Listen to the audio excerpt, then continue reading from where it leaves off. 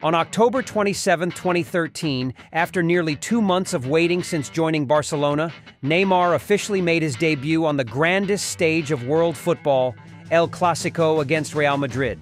It wasn't Messi or Ronaldo, but Neymar who was the most anticipated figure among fans. They were eager to see if the young talent from Brazil could follow in the footsteps of Rivaldo, Ronaldo, or Ronaldinho to become the focal point of these super clashes. And not to disappoint the Culés, Neymar had an incredibly brilliant performance with a goal and an assist, helping Barca defeat their arch rivals with a 2-1 score. In the stands of Camp Nou, 90,000 Barcelona supporters rejoiced as their expensive signing shone in his first El Clasico.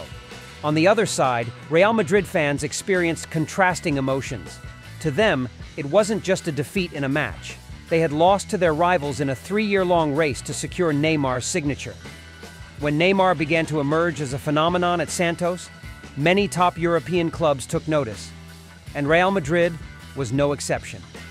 From his early days at Santos, Neymar showcased innate talent with skillful techniques, speed, and impressive goal-scoring abilities. His dazzling dribbles, intelligent passes, and precise finishes caught the attention of the media and scouts. At 19, in 2011, despite still playing in his homeland, Neymar became a global phenomenon by leading Santos to victory in the Copa Libertadores. His name now rivaled any star playing in Europe. With his exceptional football skills, distinct personality, and style, Neymar possessed all the qualities Real Madrid sought in a superstar. Confident in their allure, Los Blancos believed they were leading the race to sign the young Brazilian talent. In reality, Real Madrid was the first European giant to approach Neymar. In 2005, 13-year-old Neymar was invited to Spain to visit the Castilla training center and meet the Galacticos stars like Zidane, Figo, and Ronaldo. Recognizing Neymar's special talent, Real Madrid extended an offer to his family to join their youth academy, promising to take care of his education, provide housing for his family, and find a job for his father. Everything was prepared for signing, but Santos refused to let it happen. Having recently lost Robinho to Real Madrid, Santos needed to nurture a new club icon. With significant funds from selling Robinho and fundraising efforts from fans, Santos was determined to keep their gem as long as possible. However, some sources suggest the issue wasn't with Santos. Real Madrid received a request for a 60,000 euro grease fee from Neymar's agent, Wagner Ribeiro. The Los Blancos' general manager at the time, Carlos Martinez de Albornoz, deemed the amount unreasonable for a teenager. In 2009, when Florentino Perez took over as club president, Real Madrid once again expressed their desire to sign Neymar, even sending two lawyers to draft a contract and submit an offer to Santos. This time, however, Real Madrid was rejected by Neymar's family. They weren't ready to leave Brazil yet, preferring Neymar to develop and refine his skills at home before moving to the highly competitive European football environment. Disappointed, Real Madrid's representatives left, unaware that their arch-rival Barcelona was secretly negotiating with Santos and Neymar's family. Despite arriving later, the Catalan club made significant strides in convincing the young Brazilian talent to join Camp Nou. Barca not only enticed Neymar with a lucrative salary and attractive contract terms, but also emphasized a playing style that suited him and an environment where he could maximize his potential. Another key factor in Neymar's decision was personal relationships. While Barca president Sandro Rosell had a close relationship with Neymar's family, Neymar himself often expressed admiration for Messi and a desire to become teammates with the Argentine star.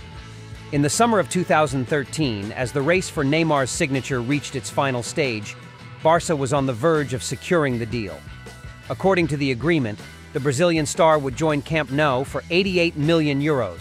In a last-ditch effort, Florentino Perez decided to offer an unprecedented amount to overturn the situation.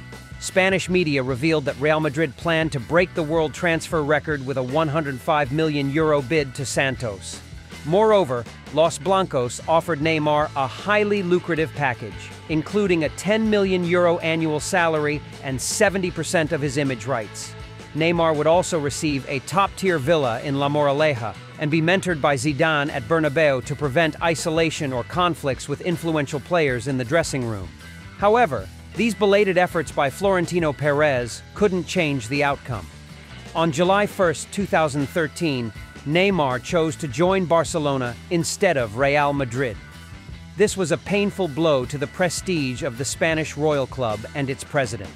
Ultimately, Real Madrid had to shift their focus to Gareth Bale to save face. But that wasn't the only time Real Madrid failed to sign Neymar. In 2017, after achieving all possible successes with Barca, Neymar sought a new challenge and a chance to surpass Lionel Messi. Real Madrid, of course, couldn't miss this opportunity. The Bernabeu club wanted to create a second Luis Figo-like transfer saga.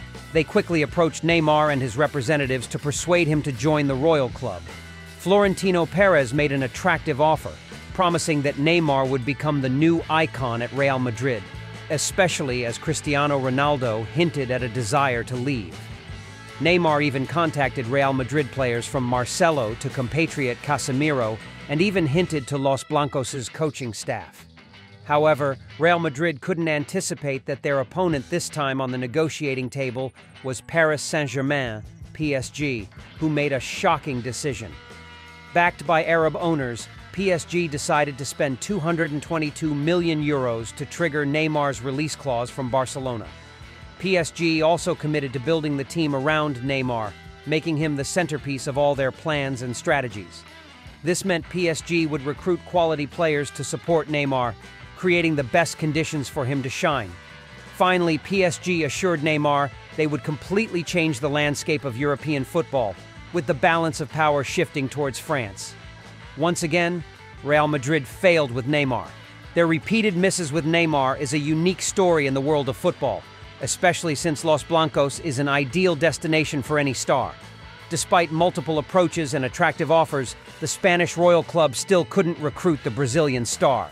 The lessons from their failed attempts to sign Neymar include not only transfer strategy issues, but also the approach and management of young talents from Brazil. This includes investing in youth training systems, seeking and recruiting potential young players worldwide instead of waiting for rising stars to shine. Real Madrid has been ready to spend on young Brazilian talents like Vinicius Jr., Rodrygo Goes, and most recently, Endrick, exemplifying their strategy to recruit young talent from Brazil.